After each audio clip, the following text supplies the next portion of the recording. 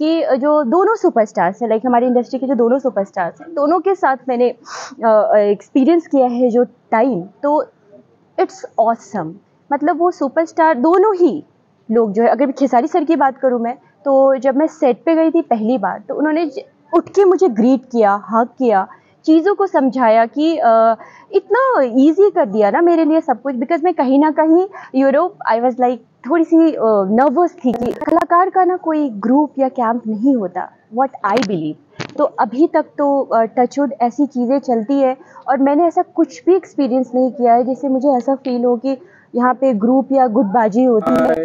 Hello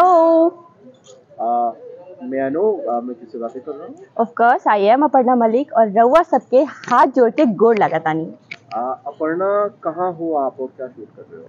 अभी मैं अयोध्या की धरती पे हूँ और एक बहुत ही खूबसूरत फ़िल्म की शूटिंग चल रही है हमारी जिसका नाम है लव यात्री। शानदार। जरा फटाफट बता दो फ़िल्म में कौन कौन कलाकार हैं? आपके अलावा कौन कौन से खूबसूरत चेहरे हैं? बहुत सारे खूबसूरत चेहरे हैं क्योंकि ये फ़िल्म जैसा कि आप जान रहे हो कि लव यात्री इसका नाम है तो प्यार ही प्यार बिखेरेगा ये फ़िल्म। और इसके जो स्टार कास्ट है वो अरविंद अकेला कल्लू जी हैं जिनके ऑपोजिट में ए हीरोइन मैं लीड कर रही हूँ। उसके अलावा आपको अभिनव जी मिलेंगे और काफ़ी हमारे फ़िल्म के डायरेक्टर की बात करूँ तो चंदन सर हैं और काफ़ी अच्छे अच्छे कैरेक्टर्स हैं और जो व्यूज़ हैं यहाँ के जो लोकेशंस हैं वो भी काफ़ी ब्यूटीफुल हैं। ओके तो क्या किरदार है इसमें अपर्णा मलिक का? अपर्णा मलिक इसमें एक क्यूट सी बेटी बनी है और एक क्यूट सी लड़की बनी है और काफ़ी उसके चेहरे हैं जिसके लिए आपको फ़िल्म देखना पड़ेगा। मैं अभी कुछ भी रिवील नहीं कर सकती। यस अच्छा। तो कितने दिन से आपकी शूटिंग चल रही है और कहाँ कहाँ आपने शूट किया अपना एक महीने, तीन चार दिनों से ये फ़िल्म शूट हो रही है और अयोध्या के ही डिफरेंट लोकेशन पे इसकी शूटिंग चल रही है, जिसमें हमारे सॉन्ग्स भी बहुत ही बेहतरीन निकल के आए हैं। और सीन्स की बात करूँ तो आप लोगों को, मैं मैं खुद से क्या बोलूँ तो मेरी भोजपुरी जनता ही रवा लोगन ही तय करा कि मेरी भोजपुरी बहुत अच्छी नहीं है, मैं सीख रही हूँ। तो रवा लोगन के तय करे के बा कि फ़िल्म कैसन आई बन के। यस ओके अपर्णा जरा अपने बारे में बताइए आपने कौन कौन सी फ़िल्म की क्योंकि ये पहला इंटरव्यू है आपके साथ जी। तो जरा अपने बारे में बताइए। तो बेसिकली मैंने अपने करियर की शुरुआत तेलुगु फ़िल्मों से की थी तो तेलुगु में मैंने फ़िल्में की है डेडलाइन जो कि आपको अभी ओ टी प्लेटफॉर्म पे देखने को मिलेगी। थिएटर में ऑलरेडी वो बिग हिट रही अजय घोष सर के साथ उसके बाद striker one by four Sitapur the city of gangsters जो एम एक्स प्लेयर पर अवेलेबल है। उसके अलावा भोजपुरी में मैंने जो डेब्यू किया है वो सजनवा कैसे तेजब फ़िल्म से। उसके बाद Awaidh part one part two Khesari Lal Yadav sir के साथ। और ये मेरी फ़िल्म चल रही है अभी लव यात्री। तो बस yes. तो सचनवा कैसे तेजब यानी कौन सी वाली फ़िल्म नहीं वो रितेश पांडे जी के साथ है। जी। हाँ, हाँ, बिल्कुल रितेश पांडे वाली जी। और उसके बाद फिर खेसारी लाल यादव की फ़िल्म फिर वरुण अकेला कल्लू की फ़िल्म। मतलब भोजपुरी में भी आप खाली सुपरस्टार के साथ ही फ़िल्म कर रहे हो। बस आप लोगों का प्यार है आशीर्वाद है और मैं चाहती हूँ मैं बहुत ज़्यादा खुश हूँ। फ़र्स्ट ऑफ़ ऑल ना मैं एक चीज़ कहना चाहूँगी कि भोजपुरी में मेरी फ़िल्म अभी रिलीज़ होने वाली है। उसके पहले जो भोजपुरी जनता का प्यार मुझे मिला है और मिल रहा है उसके लिए मैं लाइक like, मैं दिल से धन्यवाद करती हूँ और बहुत बहुत नमन और इतना सम्मान इतना प्यार देने के लिए अभी एक न्यूबी भोजपुरी न्यूबी को तो बहुत ही ज़्यादा मज़ा आ रहा है तो कहीं ना कहीं ये आशीर्वाद है भोजपुरी जनता का अपर्णा साउथ के आर्टिस्ट या फिर बॉलीवुड के आर्टिस्ट उनके बीच में शायद ये मिथ है कि भोजपुरी तो बहुत ज़्यादा वल्गर हम्म। होती हैं फ़िल्में हाँ। नीचे मार्केट होती हम्म। हैं डिविड मीन इसमें गाने होते हैं। हम्म, तो आपको इन चीज़ों के बारे में पता था? आपको लगता है कि ऐसा था या आपकी भी फ़िल्मों में आने से पहले यही राय थी? कहीं ना कहीं क्या होता है ना कि जब हम सुनी सुनाई चीज़ों पे विश्वास करते हैं तो लॉस हमारा होता है। तो मैं बिलीव करती हूँ कि मैं चीज़ों को खुद जानूँ परखूँ और फिर उसको खुद पे यूज़ करूँ। तो चीज़ें कहीं ना कहीं बहुत ही बेहतरीन होती है।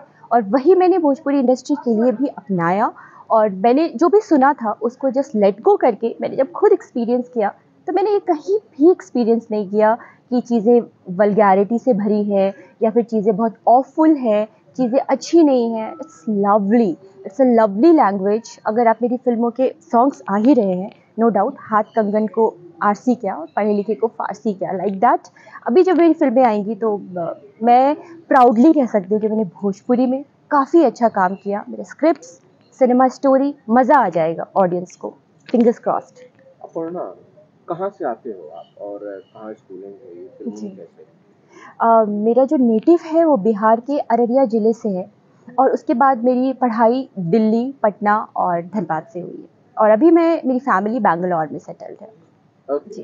क्या शुरू से अभिनेत्री बनना ही अपर्णा मलिक का सपना था? एक्चुअली नहीं अ, शुरू से मेरा सपना बनना था डॉक्टर तो मैंने डॉक्टर में बहुत कम मार्क्स से छूट गया मेरा तो मैंने बायोटेक्नोलॉजी किया।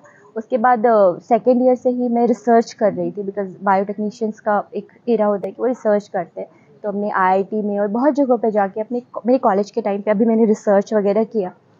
लेकिन एक्ट्रेस कुछ अलग करना था। आई हैड नो आइडिया कि मैं एक्ट्रेस बनूँगी, कि डांसर बनूँगी, कि सिंगर बनूँगी बिकॉज़ तीनों चीज़ें मैं करती थी स्कूल कॉलेजेस में। लेकिन जब मुझे ये मौका मिला तो यस आई वॉज़ कन्फ्यूज़ कि क्या करना है। फिर मैंने एक मॉडलिंग पेजेंट ब्यूटी पेजेंट में मैंने पार्टिसिपेट किया और वहाँ से कुछ कुछ चीज़ें निकल के आई। Then I was like okay I meant to be for this और बस आ गई मैं। यस वाह शानदार बहुत शानदार। अपर्णा परिवार में कौन कौन है? अब क्या फैमिली बैकग्राउंड है? अ, मेरी जॉइंट फैमिली है। मम्मी पापा दादा दादी चाचा चाची। दादाजी नहीं रहे अब बट या और मेरा भाई है एक तो वी ऑल लिव टुगेदर अच्छा अपर्णा फ़िल्म में आपने काम किया। हमने रिसेंटली आपको देखा कि भाई अभी भोजपुरी में लखनऊ के अंदर एक बड़ा शानदार अवार्ड शो हुआ था। बहुत noted you were there also yes it was Bhojpuri Filmfare Femina icons award तो वहाँ पे मुझे एज अ गेस्ट हीरोइन बुलाया गया था। And I am privilege that वहाँ बहुत ही ज़्यादा मज़ा आया। अ, मुझे बहुत ही खुशी हुई जब मैंने अ, मेरे फ्रेंड्स ने मुझे अ, कुछ कटिंग्स भेजे कि फ़िल्म फेयर और फेमिना ने मुझे फीचर भी किया अपने पेज पे तो thankful I am grateful for that yes okay Aparna बहुत सारे आर्टिस्ट आए थे वहाँ पे बहुत सारी जोड़ी आई थी। इनफैक्ट आपने खेसारी लाल यादव के साथ फ़िल्म की थी। खेसारी लाल यादव आए थे रितेश पांडे आए थे। इन लोगों को देखा आपने कोई बातचीत हुई या आपने कुछ कहा उन्होंने? डेफिनेटली मेरे जितने को एक्टर्स हैं लाइक खेसारी सर रितेश पांडे जी ये सब मेरे को एक्टर्स रह चुके हैं तो उनके साथ काफ़ी बातचीत हुई। उनके अलावा पवन सर से भी बात हुई अच्छी खासी रवि सर से बात हुई।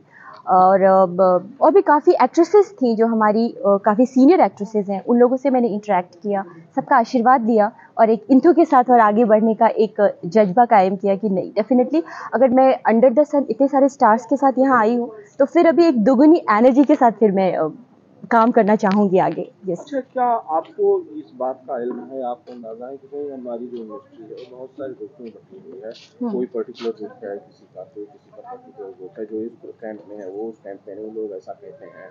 समय समय पे बातें सामने भी आती हैं। बेसिकली अपर्णा किस कैंप में है? कलाकार का ना कोई ग्रुप या कैंप नहीं होता व्हाट आई बिलीव तो अभी तक तो टचवुड ऐसी चीज़ें चलती है और मैंने ऐसा कुछ भी एक्सपीरियंस नहीं किया है जिससे मुझे ऐसा फील हो कि यहाँ पे ग्रुप या गुटबाजी होती है। यू नो स्ट्रगल्स होते हैं, लोगों के अप्स एंड डाउन्स होते हैं बट चीज़ें काफ़ी मिंगल्ड है, सब मिलजुल के ही रहते हैं। भोजपुरी क्योंकि अभी जिस अवार्ड शो की आप बात कर रहे हो फ़िल्म फेयर उसमें मुझे लगता है एक दो एक्टर्स को छोड़ के सारे एक्टर्स वहाँ पे थे और सबने जो हम्बलनेस दिखाई है एक दूसरे के लिए और शायद आपने न्यूज़ में भी देखा होगा। दैट वॉज़ ऑसम सब एक दूसरे से बात कर रहे थे, एक दूसरे को ग्रीट कर रहे थे। तो ऐसा मुझे नहीं लगता कि ऐसा कुछ है। बट मेरे को लगता है अवार्ड शो से ज़्यादा जो सबसे ज़्यादा बातें हो रही हैं वो इसकी हो रही है कि भाई खेसारी लाल यादव और पवन सिंह ने एक दूसरे को गले लगा लिया। और इनके बीच के जो कंफ्यूजन थे जो मिसअंडरस्टैंडिंग थे रेदर आई से वो दूर हो गई है. ये तो ग्रेट है एकदम बहुत ही सही अ, मैं इस हिस्टोरिकल मोमेंट का हिस्सा थी मैं वहाँ बैठी हुई थी आई वाज जस्ट रूटिंग कि यस आई वाज जस्ट मतलब चेयर कर रही थी मैं बहुत ज़्यादा चेयर से उठ के चेयर कर रही थी और बहुत खुश थी वहाँ पे क्योंकि वहाँ पे फ़िल्म इंडस्ट्री के ही लोग थे आउटसाइडर्स शायद अलाउड नहीं थे तो जो फ़िल्म नगरी के लोग थे ना, वो मतलब बहुत सारे इमोशनल हो गए थे लोग।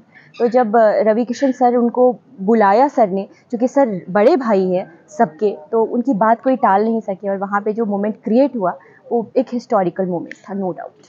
अपर्णा अपने यहाँ पे लिंकअप की खबरें तुरंत उठ जाती हैं कि भाई इनका इनसे अफेयर चल रहा है। And they are dating each other तो क्या इन चीज़ों के लिए आप मेंटली तैयार हैं? क्योंकि अब तो आप आ गई हैं सिनेमा में आज नहीं तो कल हाँ। आपके बारे में बहुत सारे रूमर्स क्रिएट होंगे। Rumour is a part of life I guess every one आदमी स्कूल में होता है कॉलेज में होता है। इनफैक्ट हम घर पे भी होते हैं तो हमारी बगल वाली आंटी हमारे बारे में कुछ तो गुपचुप गुपचुप करती है। तो I don't give a damn for those things but हाँ अपर्णा मलिक क्या है?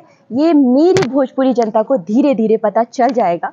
तो ये लड़की बहुत अलग है बहुत ज़्यादा। तो बहुत मज़ा आने वाला है इस लड़की को। आप जब देखोगे जानोगे समझोगे जितना प्यार दे रहे हो ना आप I can't I can't be thankful enough तो लव यू भोजपुरिया समाज। अच्छा जी जी जी।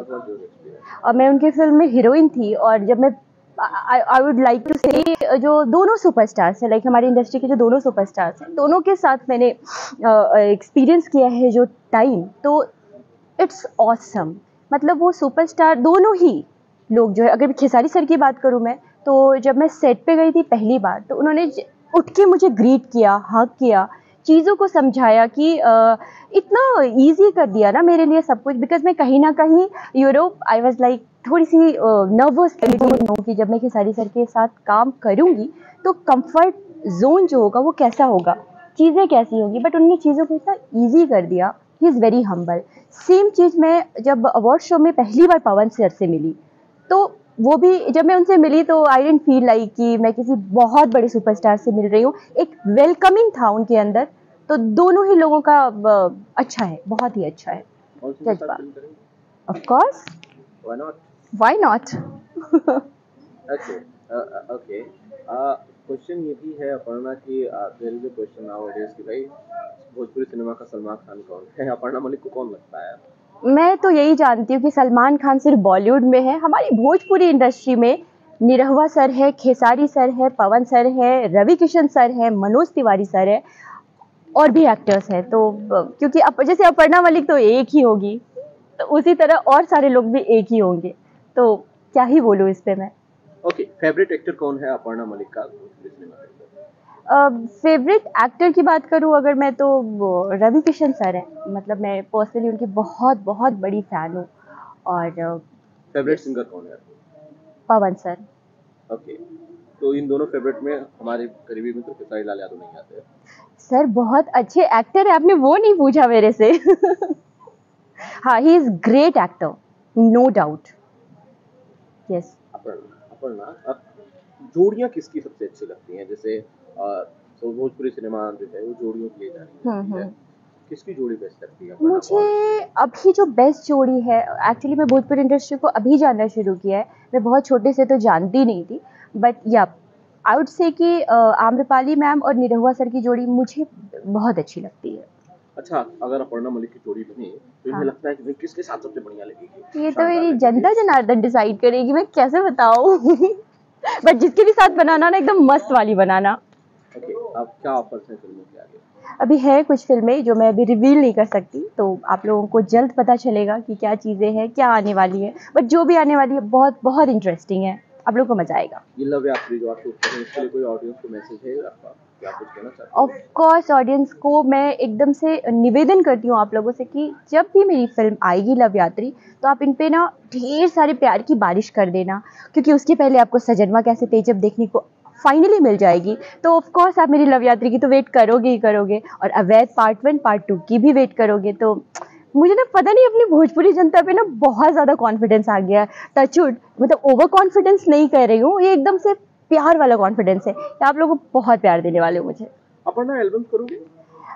अभी मैंने कुछ सोचा नहीं है बट अगर ऐसा कुछ बहुत अच्छा ऑफ़र आता है और मुझे लगता है कि बहुत अच्छा जो मेरे लिए अच्छा है क्योंकि अच्छे और बुरे का कुछ पैरामीटर नहीं होता। हर इंसान के लिए अच्छा और बुरा अलग होता है तो अगर कुछ आता है तो आई डू थैंक यू बहुत बहुत शुक्रिया thank you so much bye you so much bye